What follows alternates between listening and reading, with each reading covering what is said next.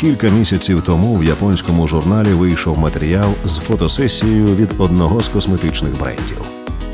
На перший погляд, на знімках немає нічого незвичайного.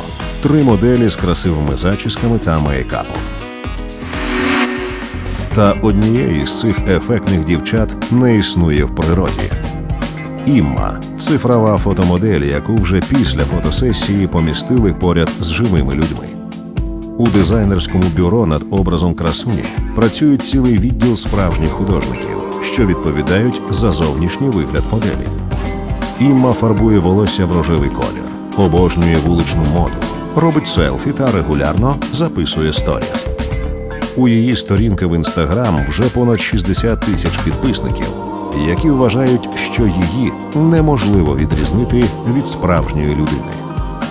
Навіть віртуальна краса розтоплює людські серця.